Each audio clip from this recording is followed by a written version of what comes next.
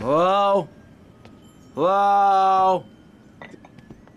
Come in, my dear, and rest your soul. You must be the big bad man my granddaddy been chatting about.